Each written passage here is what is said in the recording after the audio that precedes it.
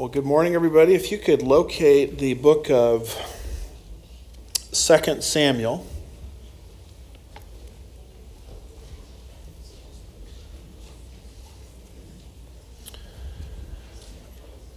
This Rapture series is taking you into books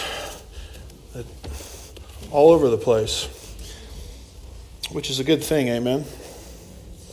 2 Samuel chapter 12 and verse 19, where in um, part of the tail end, believe it or not, of this Rapture series on questions and answers. So, a number of people have submitted questions, and I tried to pick the questions that most people are asking. And so today we have in Sunday school three questions to look at concerning the doctrine of the rapture. And this first one is a big one. Everybody wants to know about this. And it has to do with infants and the rapture. So here is the question it says, What about parents who have infant children when the rapture happens? Um, will their children leave with them who haven't had a chance to make an informed decision to accept Christ? Is there any scripture that sheds light on this? And this is one of those questions that I've kept kicking the can down the road. And I've, I've never really wanted to get into this. And one of the reasons I haven't wanted to get into, into it is I don't really know if I have a definitive answer. And the reason I don't have a definitive answer is because I have uh, just a few strands of Bible to work with. And most of the strands that I'm working with um, don't really connect the issue to the rapture. So I'm, I'm forced to kind of deal with this by way of infer- inference. So, really, what people are wanting to know is what about when the rapture happens? What about the child in the womb of their mother that has never had an opportunity to hear the gospel, let alone understand the gospel, what's going to happen to them. Um, and this is the kind of question that gets into what we call the age of accountability. People say, well, what is that age of accountability? And don't ask me, I have no idea. Um, because the Bible doesn't give an age of accountability. but what people mean by age of accountability is what about those who are too young to believe. You know, they're, they're either haven't been born yet or they have been born and they can't understand language. And what about people with dis, some kind of disability, which prevents them from, you know, hearing and understanding? Um, what is going to happen to them at the point of the rapture? And, and has God made provision for them? There really isn't a lot of information in the Bible on this except this, this one set of verses. It's in uh, 2 Samuel chapter 12, and I'm going to pick it up there at verse 19.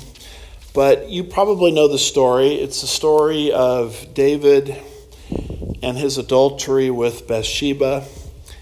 And there was a child that was born through that unholy union and the child dies. And when the child dies, David is comforted, and he comforts his, uh, his wife, then, then who became his wife, Bathsheba, the mother, because of the death of this child. And he makes a statement here that many have used to argue that God has made provision for either the preborn the unborn or those that are too young to have the ability to receive the gospel, and those who have some kind of mental disability preventing them from hearing and, and understanding the gospel. So, without this passage, I wouldn't have anything to talk about, but there is something here. And notice, if you will, 2 Samuel 12, look, if you will, at verse 19. It says, But when David saw that his servants were whispering together, David perceived that they that the child, that's the child born from this adulterous union, that the child was dead, And so David said to his servants, Is the child dead? And they said, He is dead. Verse 20 So David arose from the ground, washed, and anointed himself, and changed his clothes, and he came into the house of the Lord and worshipped. Then he came to his own house, and when he requested, they set food before him, and he ate. So, in other words, he broke his fast. And then, verse 21, it says, Then his servants said to him, What is this thing you have done? While the child was alive, you fasted and wept, but when the child died, you arose and ate food. Verse 22, he said, While the child was still alive, this is David talking now, I fasted and wept, for I said, Who knows, the Lord may be gracious to me, that the child may live. But now he has died. Why should I fast? Can I bring him back? And then here's the key line He says, I will go to him, that's the child, but he will not return to me. So here David makes a statement that why should I fast anymore? The child is dead, and when I die, I will go to him. Now, I understand that as the child went into the presence of the Lord, and David, when he died, would see that child again one day. And so this becomes, you know, a tremendous um, comfort to parents um, where the wife has had a miscarriage, or maybe there's someone who's been put under pressure to have an abortion, or you know, the death of death of a very young child you know, you wonder, um, gosh, they, they never really understood the gospel, they never heard the gospel, what's going to happen to their soul? Well, this is my interpretation of it. Um, essentially, they will see that child again because that child was under the age of accountability. So they didn't have an ability to understand the gospel and believe it, and so God's grace is so big that it makes provision for that child. Now, when you deal with Calvinists, and I've dealt with a lot of them, what they say is no, you're reading too much into the passage. And really, what this is talking about is just the common grave. You know, the child went into the common grave, and David went into the common grave. And then you ask them, well, is David going to see the child again? And what they'll say is, well, David will see the child again if the child is one of the elect. Now, try preaching that to a grieving parent at a funeral. See, and this, this is this, the type of thing that goes on in academia where people are kind of in their ivory tower and they've worked out their theology, they think, and yet it has absolutely no practical or edificational value outside the church. In fact, it, it, if you tell somebody that, it will probably emotionally destroy, you know, if not debilitate them. And I was talking to a five point Calvinist, fairly well known guy. And I posed this question to him. I said, Would you use that, what you just told me? You'll see the child again if they're one of the elect. Well, what if they're not one of the elect? Then they went to hell. I mean, are you going to use that at a memorial service? And honest to God, this is what this five point Calvinist told me. He says, Well, in that case, I usually just lie. That's what he said. So you're, you're, you're telling someone one thing at a funeral that's inconsistent with your beliefs in theology. That, that is not how you do theology. If your theology is going to work, it can't just work in a book. Uh, it can't just work in an academic institution. It's got to work in real life. That's why I believe some of the best theologians out there are pastors. In fact, on our faculty at Chafer Theological Seminary, every single person that works for us as a teacher is also a pastor. You know, they're not somebody that's sitting in a room somewhere running computer programs, parsing verbs, um, insulated from reality. And I learned from some very, very good people as I was going through seminary Dr. Pentecost, uh, Dr. Lightner, uh, Dr. Toussaint, Dr. Constable, and every single person I learned from was also or had been a pastor of a church. And so, there, so when I was listening to their theology, it wasn't just some academic statement, it was something that was working in the real world. And one of the problems with Christian academia is we've, we've turned to the academy and created a bunch of experts in different things. And they are experts in their little field, but they're not living in the real world, to be honest with you. And that's why they come up with some of these crazy ideas. And the idea that you tell somebody that they're going to see their child again only if the child is one of the elect, it doesn't fit with verse 24, which I haven't read yet. Then David, what? Comforted his wife Bathsheba. He went into her and slept with her, and she gave birth to a son. She named him Solomon. Now the Lord loved him. Verse 24 follows verse 23. Amen. And it says in verse 24, then David comforted his wife Bathsheba. Put yourself in Bathsheba's shoes. Hey, uh, sweetheart, uh, we're going to see the child again if the child is one of the elect. Well, gee, Mr. Husband, what if the child is not one of the elect? Then the child is going to go to hell because that's God's pre programmed purpose for the child. Um, and be comforted by that. Would, would any sane person be comforted by that prospect? So I do not believe in this interpretation that this is just speaking of the common grave. I think what it's talking about is the provision that God made for that child who was beneath the age of accountability. So I believe this passage teaches that God's grace is so big that if you have the inability to hear, understand, believe, then you're covered by the grace of God. That's, that's what I believe. That's what I teach. That's what I think the Bible says. And that's the only reasonable comfort to give to somebody, you know, in this circumstance. So the big question is okay, if there is such a thing as the age of accountability, and it may be different from person to person, um, then how does this relate to the rapture?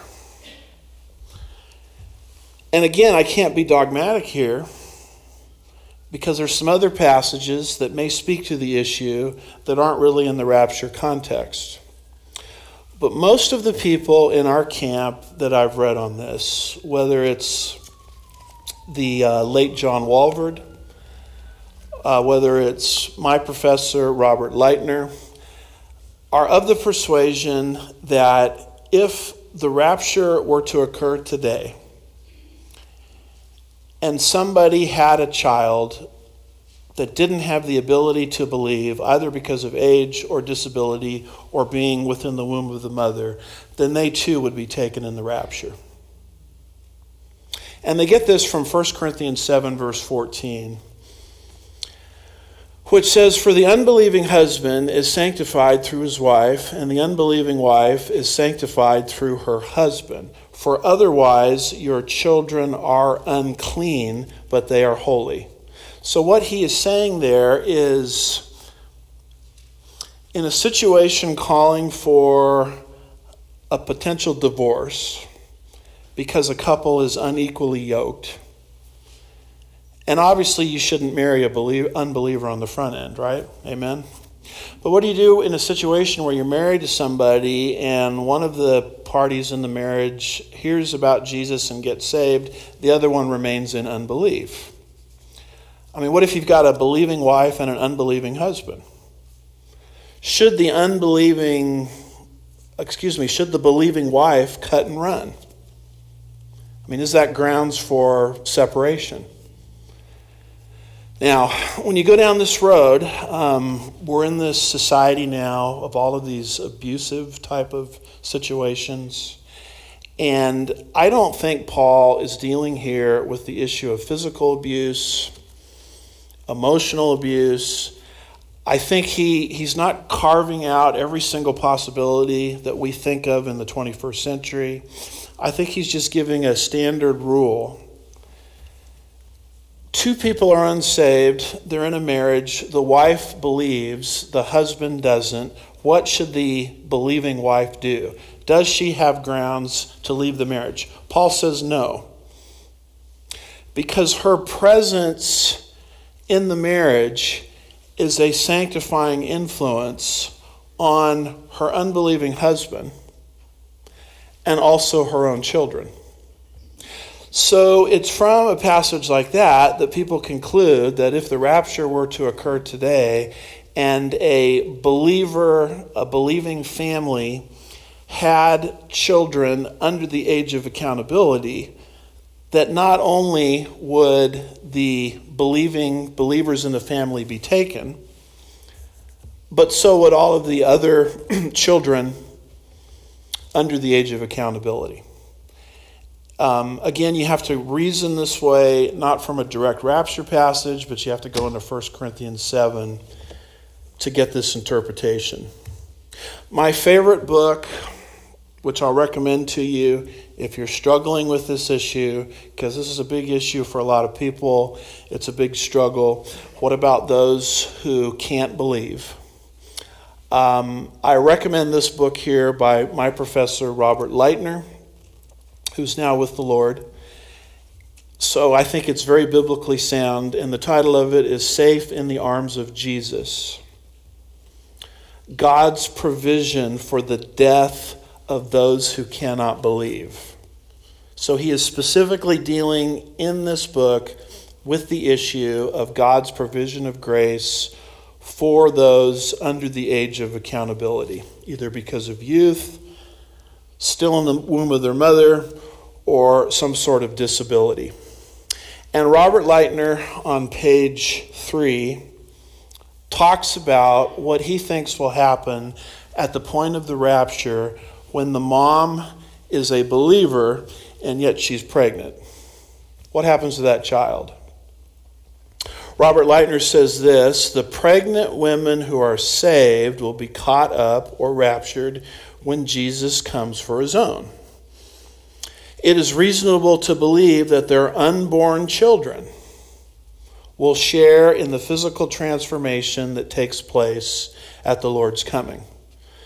So, you know, if a woman is pregnant and she's a believer and the rapture occurs, according to Robert Lightner, it's not a situation where she is raptured to heaven and the unborn child, you know, who is beneath the age of accountability is left behind. He says they all go together. And I would concur with what he's saying not because he has a direct passage in the Bible where we can point to it and say, Thus saith the Lord. He's just reasoning from inference. We're all, we're all concerned about all of these contingencies. If God carved out every single contingency that we wrestle with in the 21st century, do you realize how big this book would be? I mean, it would be so big no one would read it, first of all it would look like the United States tax code. And God has decided to give us a finite revelation 66 books. So when people come to the Bible and they want these specific answers, the truth of the matter is God hasn't disclosed everything that we would like to know. He has disclosed everything that we need to know. That's the doctrine of sufficiency. But he has not necessarily disclosed everything that we would like to know. And at some point, you have to rest on the character of God. Yeah, Lord, you didn't answer my question specifically, but I know at the end of the day, your character is love. God is love. And you have made provision for those who cannot believe. Well, what if the child is born. What if you've got a believing mom, a believing dad? You have a child that's not unborn, but a child that's born, but that child, because of disability or youth, is beneath the age of accountability and they have the inability to believe. What happens to that child at the point of the rapture? Robert Lightner says they're all the child is taken in the rapture. So notice what he says here. I think it's on page 73 of this book. He says, What about those who cannot believe? Who are living when the, rapture, when the Lord returns? And those who are saved parents. Will the parents be taken to be with the Lord and the child left on the earth? He says, I think not. Exclamation point. That's what I really liked about Lightner, by the way. He was one of these guys, when he taught, he's with the Lord now, but he was very clear to give what he thought was the correct view on something, which is not how education is done today. It's not how seminary is done today. It's not how theological education is done today. It's not even how I was taught. What they did is they laid out all the alternatives and they let the student decide what they thought was the best one. That's why everybody is into these Zondervan Four Views books. Four views on the millennium. I didn't know there were four views, but there is a four views or maybe three views on the millennium. Four views on the rapture. Four views on eternal security. And when the board asked me to become president of Chafer Theological Seminary, what I said is that mindset stops right now. Because Chafer Theological Seminary has a doctrinal statement.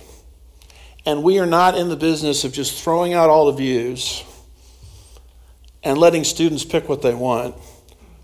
We're going to give them what we think is the correct view well, gee, you're really being narrow because that's not what education is about. You should expose the students to all the views. I agree. Expose the students to all the views, but tell them what we believe is the right view. And that's how Robert Lightner, who was old school, that's how he taught. He would say, "It's this. Here's this view. Here's this view. Here's this view," and then he would say, "Now for the right view." And we sort of chuckled in class when he did that because that's not postmodern to say stuff like that. You know, all views are equal, modern education, everybody is entitled to their own thoughts. No, they're not. Some thoughts are right, some thoughts are wrong. Read your Bible and you'll see Jesus talking. I don't think Jesus would ever have been given tenure in any academic institution today except maybe Chafer, and we don't, we don't give tenure. Why don't we give tenure? Because when people go liberal, you can get rid of them. You, re- you realize that, right? Um, I, remember Paige Patterson. There was a, a huge thing that Paige Patterson, Adrian Rogers, and a judge, and his name escapes me, but they did something at one of the big Southern Baptist seminaries that's never been done. There were a bunch of people over there at that time that were denying inerrancy. And they went and they started firing people.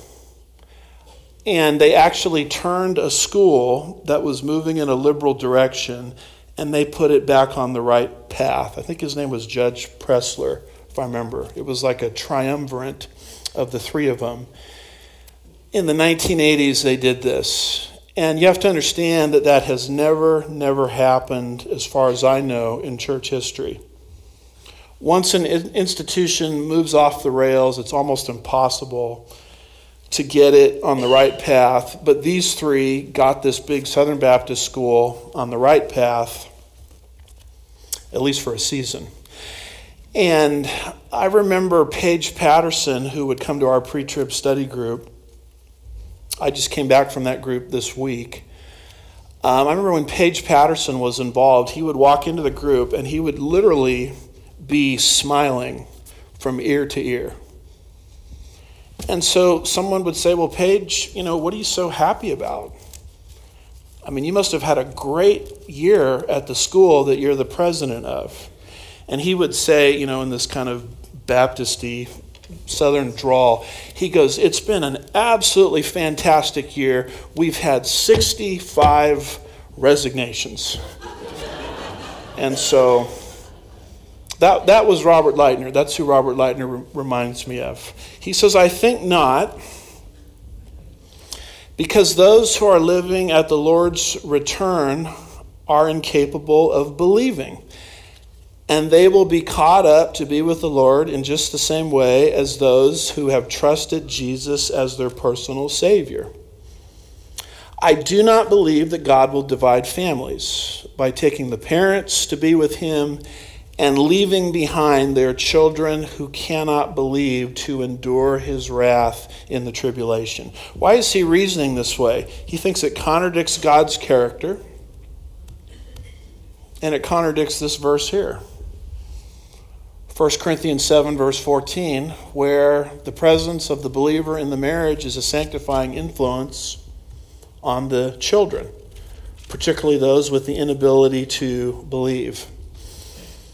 He goes on and he says, God will divide families. I do not believe God will divide families by taking the parents to be with him and leaving their children who cannot believe to endure the wrath and the tribulation. To be sure, there will be a separation when the Lord returns but they will be between those who have trusted Christ and those who have not trusted him. It is unlikely that separation will be between saved parents and their children who are unable to believe. So, what is the sort of consensus or school of thought in our camp on this issue? If the parent or the mother is saved and pregnant, then the unborn child is taken in the rapture. If the parents, or perhaps a parent, is saved, and the child is beneath the age of accountability when the rapture occurs, that parent will be taken, and so will the child. But then Robert Lightner goes on and he gives the other side of this. What of pregnant women who are not saved? He says they will not be changed, but will remain on the earth to endure the time of the Great Tribulation. And what about their unborn infants? We know that there will be great suffering on the earth as it experiences a time of unparalleled tribulation. Jesus specifically mentioned mothers when he spoke of it in Matthew 24, verse 19. Expectant mothers, he spoke of it in Matthew 24, verse 19, living on the earth during the tribulation. Regardless of the mother's choices not to accept Christ, notice what he says here. All children born during the tribulation period are protected by grace there are no, they are no different than other children who are not able to believe. And unfortunately, in this particular book, he didn't really unpack exactly what he means by that. And, you know, he's dead now, so I can't ask him. But apparently, his view is if a mother is an unbeliever at the time of the rapture, she is left behind. The child within her is left behind. But when that child is born in the events of the tribulation, if they are under the age of accountability, then they are protected by God's grace. Maybe he means by that they are protected from the tribulation judgment somehow. Maybe what he means by that is if the child were to die, that child would go into the presence of the Lord. Which raises one other question what about the children of unbelievers? What we've talked about here is the children of believers. What about the children of unbelievers at the point of the rapture? What about children beneath the age of accountability at the point of the rapture? And here's my answer I really don't know. I'm sort of confident that children of believing parents are covered, but our camp really doesn't seem very aggressive in saying all children are covered. So, that, I'm not saying they're not covered. I'm not saying they are or they are not. I'm saying that's a question I really don't have an answer to. So, what do you do with questions like that? Do you get embittered at God? Frustrated because God hasn't answered the question the way I want it? Or do you accept the fact that this book is a book of finite revelation? It's not the United States tax code. It's not designed to carve out and talk about every single contingency that may come up. Do you accept the idea that this is a limited revelation and yet it's a sufficient revelation? That's where I am. I don't have an answer to this question. I just know that what God has given me in this book is enough. So then, what do you do with all of these children beneath the age of accountability who happen to be born in the home of unbelievers? What do you do with that when the rapture occurs? My answer is I don't know. And I wouldn't posit to know something that God's word hasn't really spoken on. Well, doesn't that keep you up at night, tossing and turning? No. Uh, I sleep like a baby, quite frankly. Because at the end of the day, I trust God's character. 2 Peter chapter 3 verse 9 says this as clearly as it can be said. The Lord is not slow about his promise as some count slowness, but is patient towards you, not wishing any to perish, but to all for all to come to repentance. That's who God is. Um, in fact, twice in Ezekiel 18, once in Ezekiel 18, verse 23, and then at the very end of the chapter in Ezekiel 18, verse 32, God says, I take no pleasure in the death of the wicked. Rather, what pleases me is that the wicked man would turn from his wicked ways and live.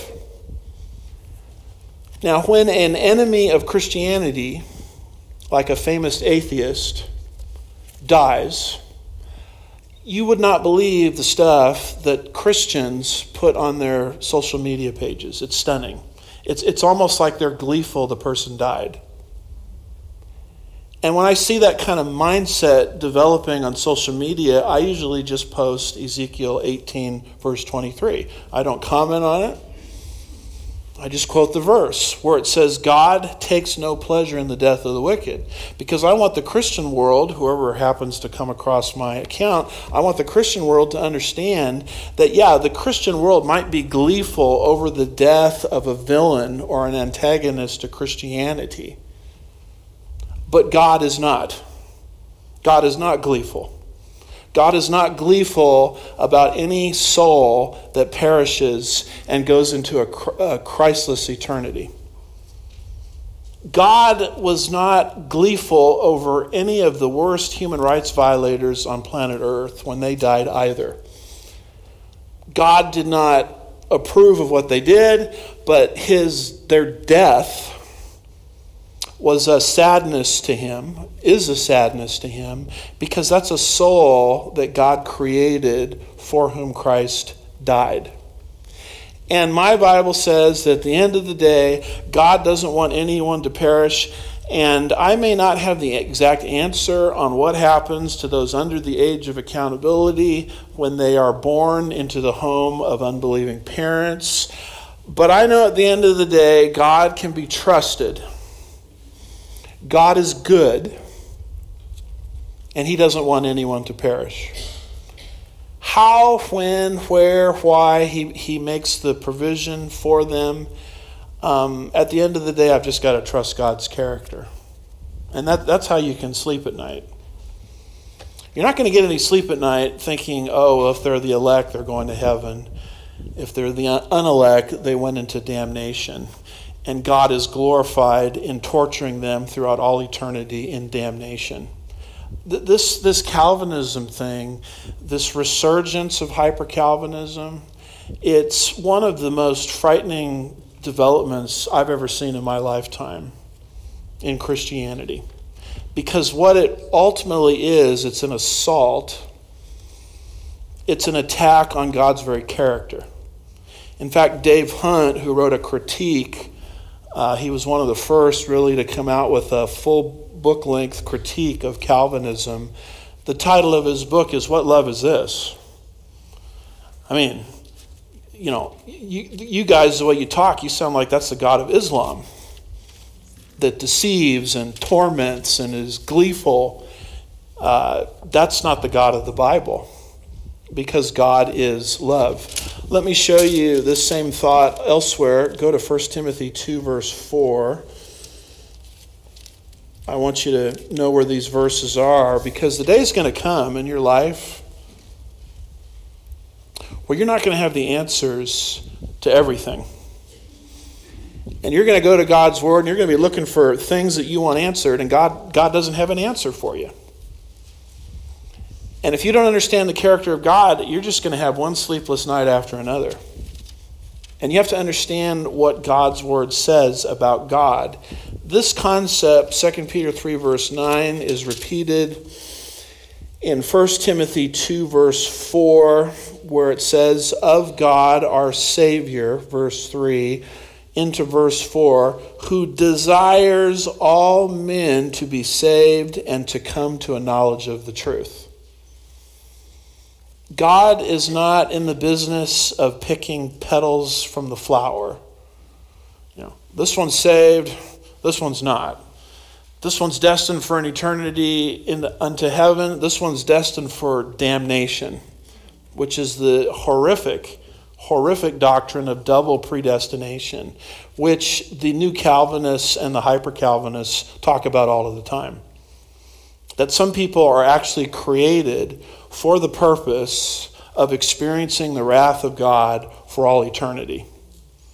And as the, the torment of their voice rises, and as the smoke rises up to God, somehow God smells that and is pleased with it.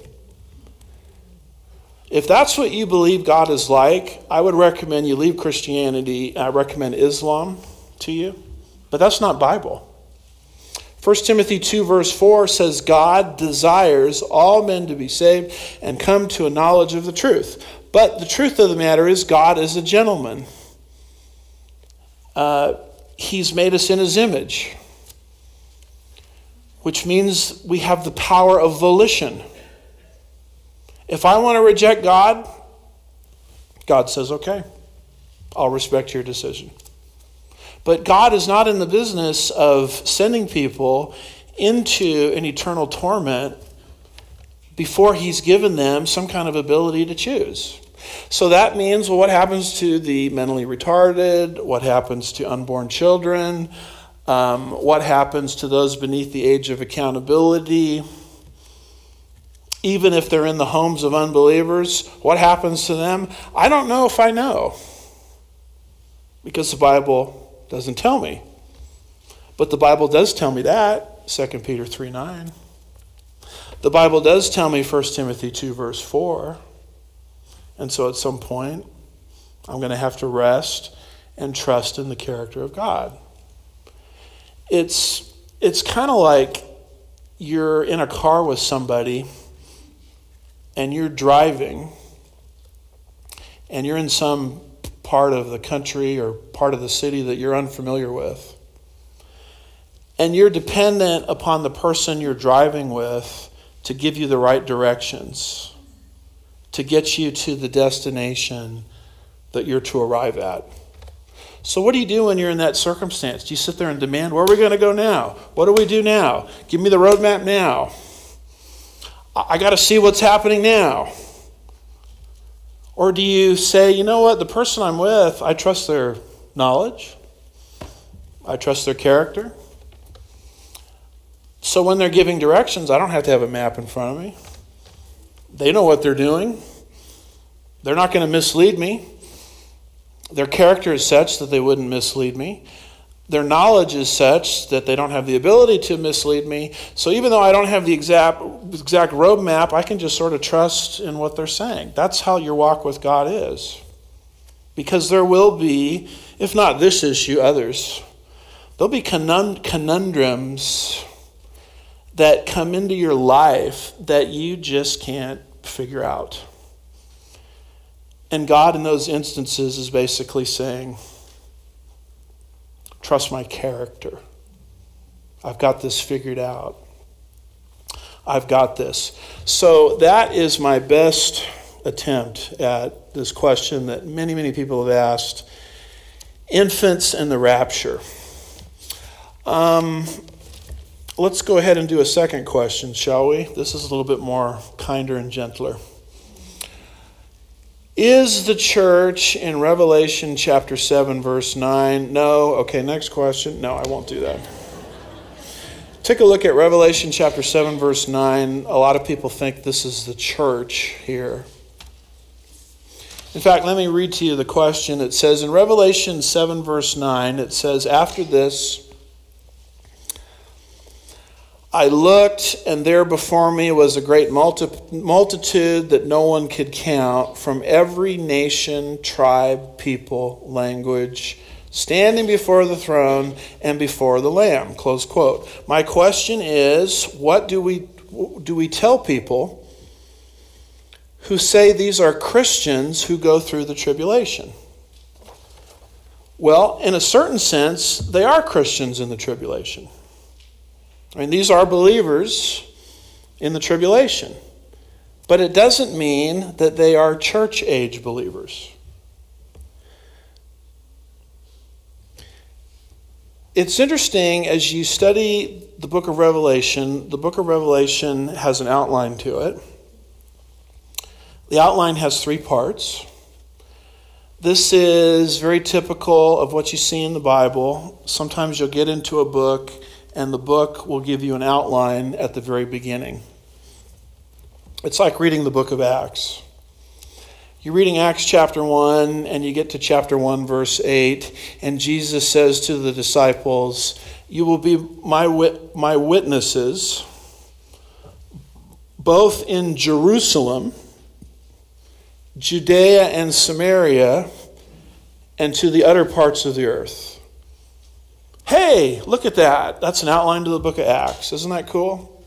You'll be my witnesses in Jerusalem. That's Acts 1 through 7. You will be my witnesses in Judea and Samaria. You know, these are basically like areas uh, outlining, if you will, the city of Jerusalem. It's, it's a difference, we would say, between a, a city and a, and a county that that city is in.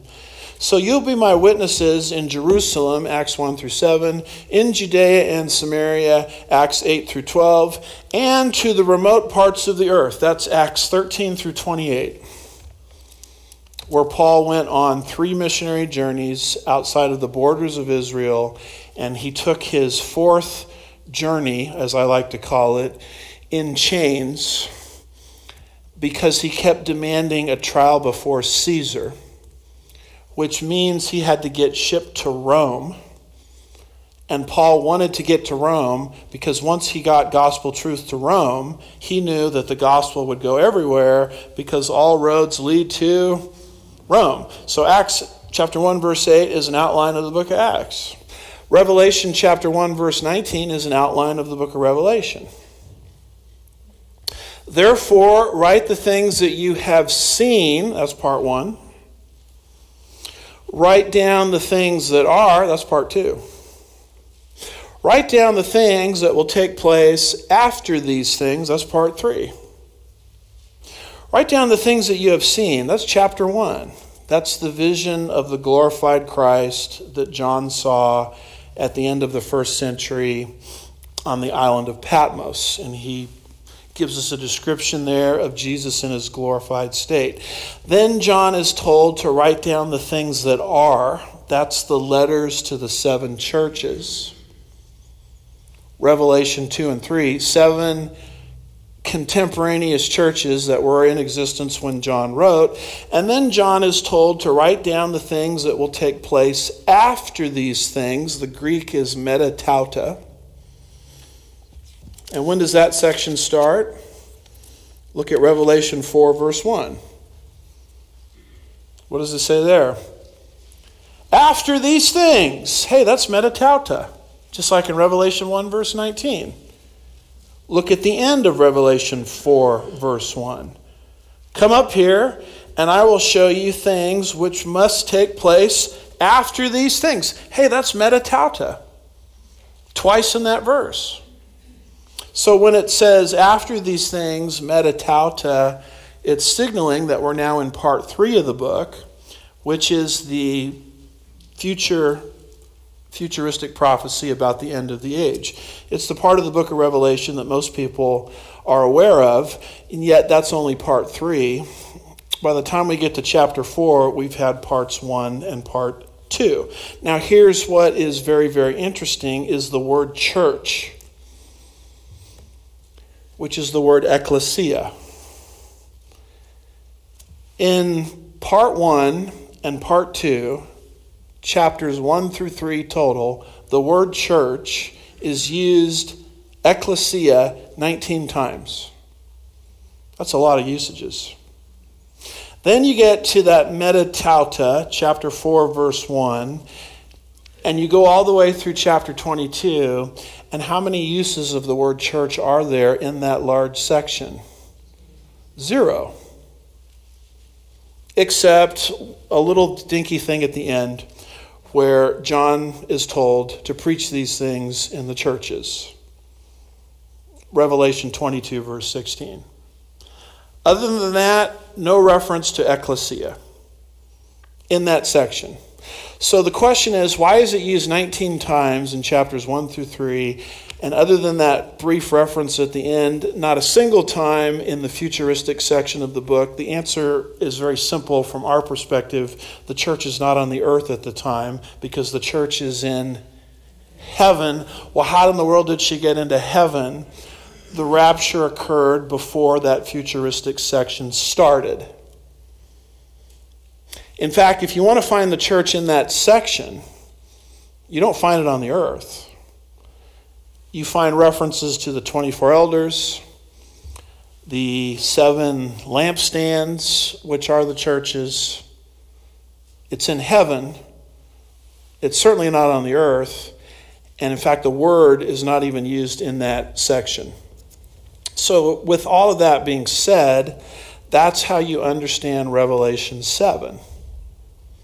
Revelation 7 could not be talking about the church because of what I just tried to explain, the church on the earth is missing in that final section.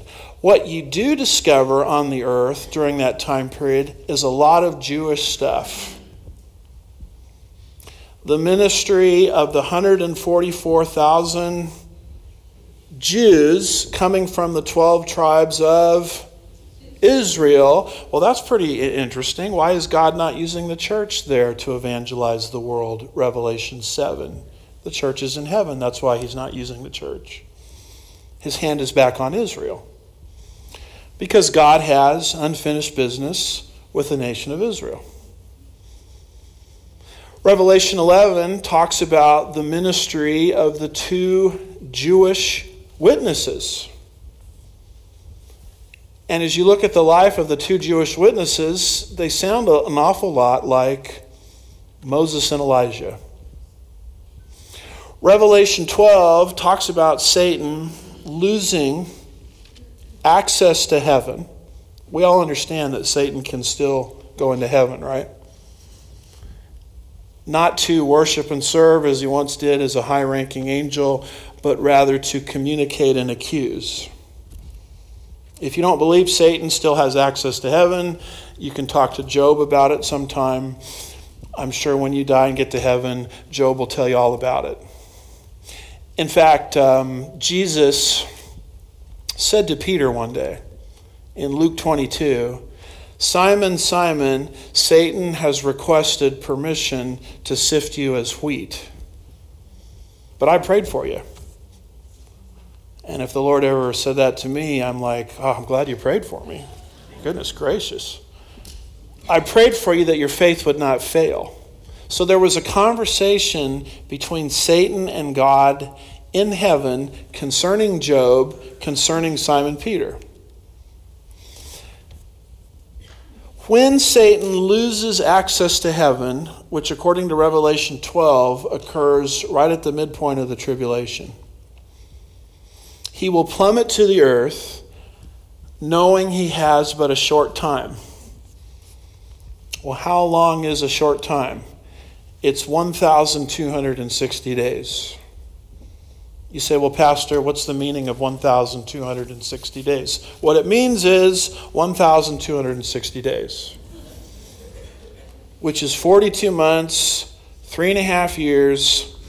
The Jews sometimes called this time period a time, times, and a half a time.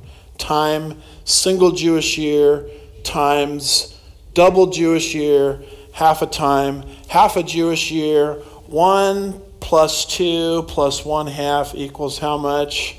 Three and a half. Satan has got exactly three and a half years left to destroy the woman clothed with the sun and the moon and the 12 stars.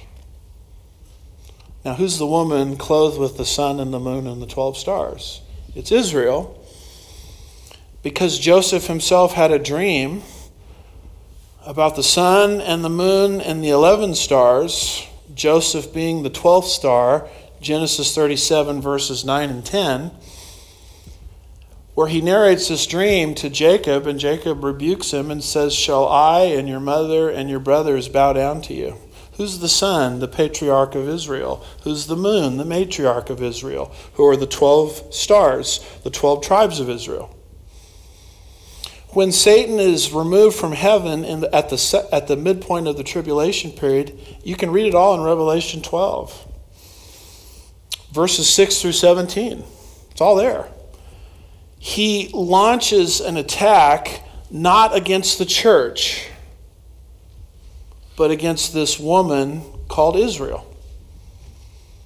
Well, why is he not attacking the church? Is Satan attacking the church today? Yes, he is. Is Satan attacking the individual Christian today? Yes, he is. That's why we're told to put on the full armor of God, because we wrestle not against flesh and blood, but against principalities and powers and rulers of this dark world. So, in the second half of the tribulation period, why is Satan not waging war against the church, which he's done for the last 2,000 years? Answer the church isn't on the earth.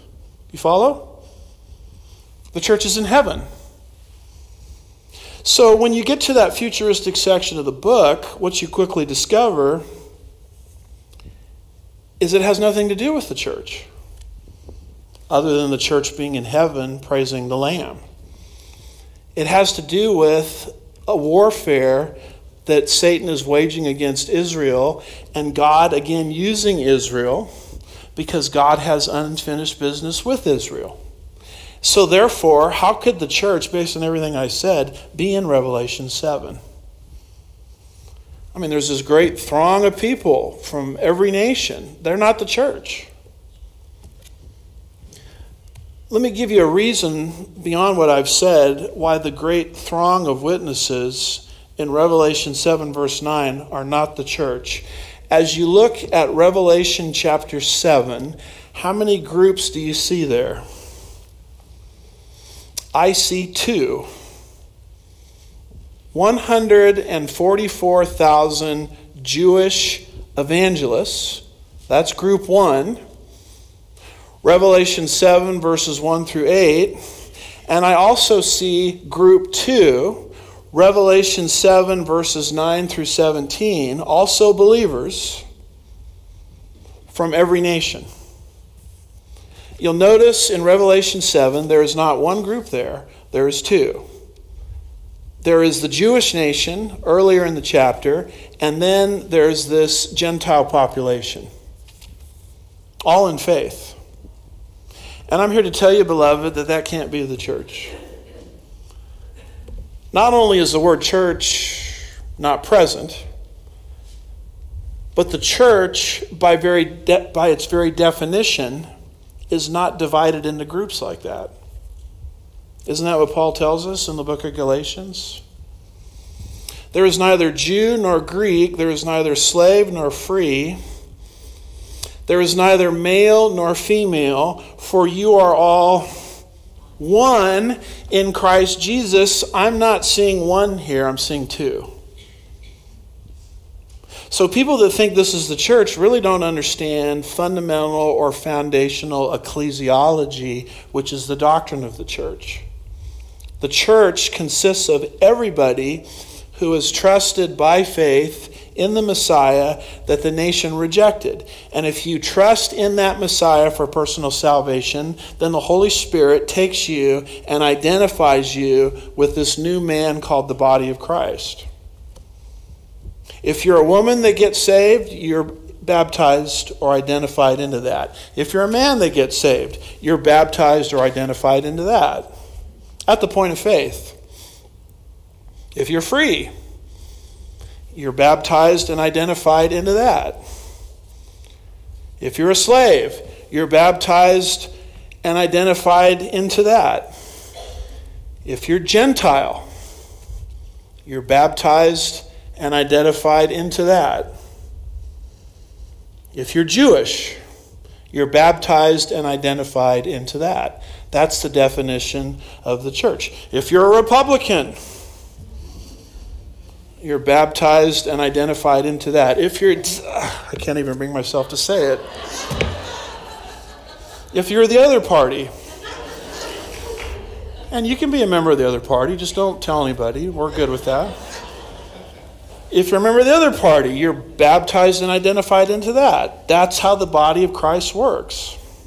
If you've lived a clean life and never had any problems, you're baptized and identified into that. If you've lived a dirty life, you're baptized and identified into that because in the body of Christ there is no division. You follow? Right here in Revelation 7 is a division. So if there's a division here on national grounds, this can't be the church. It's completely foreign to what Paul explains concerning the church. Well, then who are all these people, this great multitude? They are those reached by the 144,000 after the church is removed. That's who they are. Very early on in the tribulation, these 144,000 are brought to faith. And they don't have to spend years and years and years in seminary to learn Hebrew because they're already Jewish. And God puts his hand on them. They're called the first fruits, and he uses them to reach the rest of the nation and the rest of the world. So that's who this great throng of witnesses is. It has nothing to do with the church, it has to do with the people that are left behind following the rapture that are evangelized by the 144,000. You mean world missions doesn't rest completely on our shoulders? I mean, what's poor God going to do with the church not here? What's he going to do with all of our missionary societies? And all of our efforts to reach the world for Christ. The, the fact of the matter is, people, God uses us today not because He needs us. Do we understand that? He wants to use us. And the day in history will come where we'll be in heaven and God doesn't say, Oh no, I don't have the First Baptist Church of Houston anymore. What am I going to do? What am I going to do without the Presbyterian Church? What am I going to do without the Methodist Church? God says, I've got this. Everything's under control. You members of the church, praise the Lamb in heaven, and I'm going to reach the world through the 144,000 Jews, which, by the way, shouldn't surprise us. Because isn't that what God said at the beginning in the book of Genesis that we're studying in the main service? What did God say to Abram? In you, all the families of the earth will be blessed.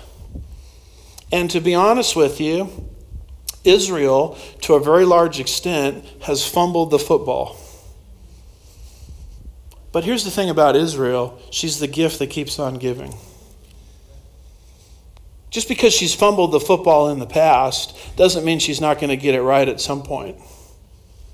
There, there is language in your Bible of work that God wants to do and will do in and through Israel that has never been exhausted.